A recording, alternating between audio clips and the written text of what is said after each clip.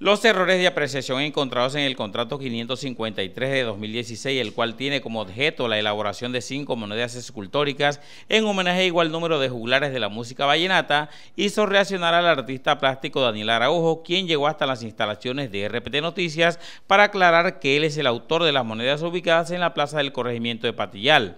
Araujo dijo que en su momento fue él quien firmó un documento con amoblamiento urbano para la elaboración de esta gliptoteca, la única en toda la costa caribe, y que John Peñalosa para ese entonces era el secretario de Cultura Municipal. Yo solamente quiero aclarar que soy el autor de estas monedas de Patillal y que las que quieren hacer en Valledupar deben ser las monedas de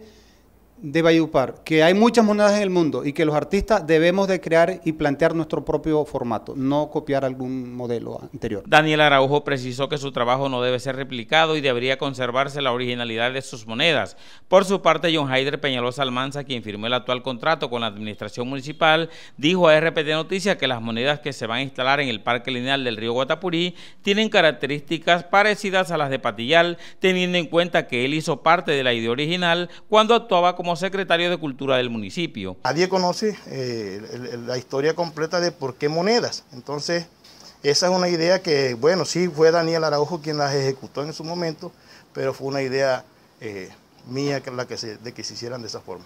John Peñalosa expresó además que la idea de estas obras es permitir la práctica del turismo en Valledupar y sus corregimientos, además de mantener viva la esencia de la música vallenata y sus cultores, por lo que propuso a las administraciones municipal y departamental la elaboración de esta clase de obras escultóricas en corregimientos y municipios de Valledupar y el Cesar.